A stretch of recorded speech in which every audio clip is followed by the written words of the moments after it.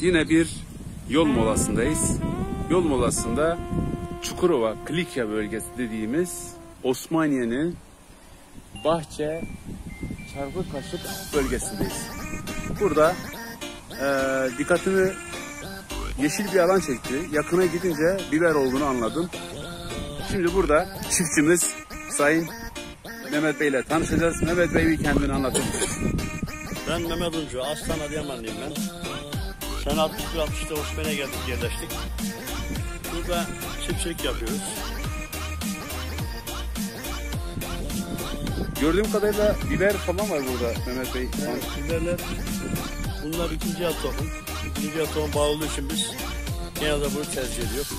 Nedir bu dediğiniz ikinci el, birinci el? Onu biraz anlatın. tohumunu esas kaba biber. Evet, yeşil olarak satıyoruz bunu.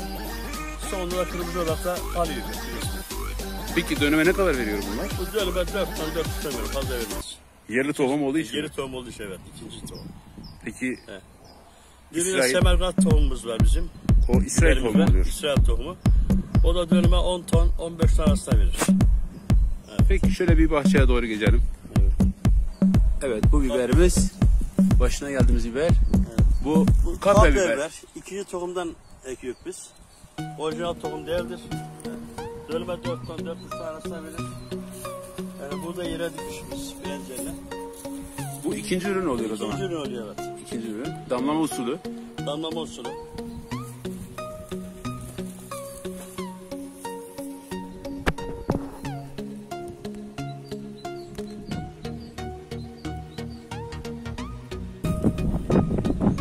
Boş zamanı yapıp değerlendiriyor diyelim. Tamam. Bunu kalan şeyi de oradan çekelim. Madem uzaksa seni yormayalım. Hani kırmızı olanı da göstermek istemiştim aslında.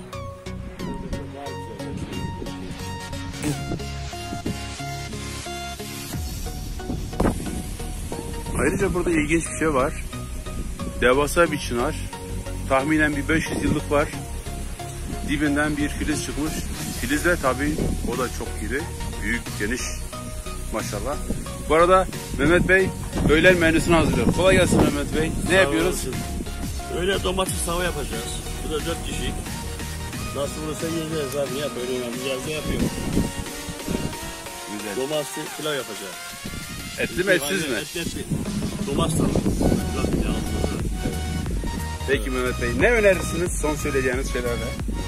Çiftçilerimize, biber üreticilerine.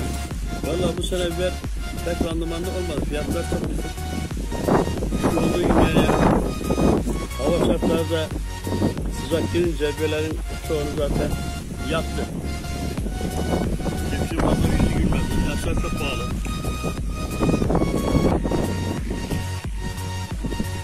İlaçlar çok pahalı diyorsunuz.